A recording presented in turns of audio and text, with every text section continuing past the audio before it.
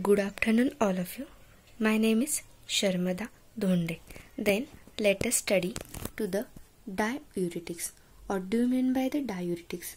Diuretics means a chemical agent that increases the rate of the urine formation.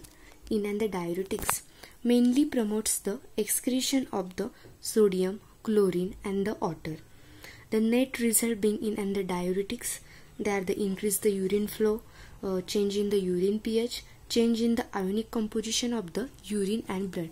Then let us move to go of the SAR of the site 1 diuretics. In and the site 1 diuretics, it is also known as the carbonic anhydrase inhibitor. Uh, then uh, if you say the uh, chemistry of the uh, SAR of the 1 diuretics is the carbonic anhydrase inhibitor derived from the sulfonamide. This is the sulfonamide groups. Uh, in and the sulfonamide they possess the metabolic uh, acidosis and they shows the antibacterial activity. Then uh, this is the uh, first one uh, one on the acetazolamide in and the carbon carbonic anhydrase inhibitor they are the two acetazolamide and met, uh, methyl methylazolamide this is the first one is the acetazolamide this is the structure of the acetazolamide then now in and the uh, sulfonam sulfonamide group uh, uh, if you can see the a group in and the amino group they are the b group. Then let us study it shows the the in a the sulfonamide group is essential for diuretic activity. They activate karte the essential activity. Then the sulfonamide of the nitrogen atom they unsubstituted to the reaction activity. They uh, unsubstituted reaction activity uh, show karta. In second one is the b point. The derivatives with the increase the lipid and outer partition coefficient and lowest pK value. In this amino group uh, the highest lipid and outer partition coefficient and the lowest pK uh, value.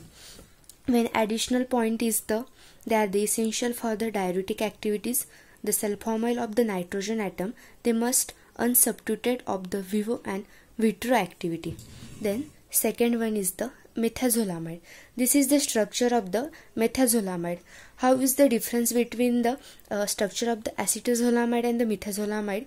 In and the acetazolamide uh, uh, it is in and uh, position they have the double bond uh, but in and the methazolamide in this have the no double bond but it is the additional in n position they have the ch3 in and the in this n position they have the double bond uh, they say that it is more potent than CA inhibitory than acetazolamide. Uh, मिथाझोलामाइड ची uh, inhibitor activity acetazolamide पेक्षा most potent असते uh, then this is uh, if you see the aromatic ring. Uh, when you see the first uh, first second third and fourth it shows that maximum diuretic activity when the position is substituted with the chlorine NO2 bromine and CF3 they are the unsubstituted for the chlorine NO2 Br and CF3 in and the second one they shows that amino group increases to the saluretic activity but the decreases the CA inhibitory activity. In third one, they shows that uh, they increases the diuretic, activity, but the decreases the CA inhibitory activity. In uh, they are the shows that sulfonamide group they are the unsubstituted in there and aromatic they are the form two type first one is the dichlorophenamide and second is the chloroaminophenamide uh, what you say the mechanism mechanism of the action of the acetazolamide uh, it is the inhibit the action of the carbonic anhydrase in a NaHCO3 reabsorption and acid secretion. What you say the adverse uh, reaction of the acetazolamide it is the metabolic acidosis. Uh, then methazolamide used to treatment of glaucoma because it displays improved penetration into the eye. Thank you so much for must watching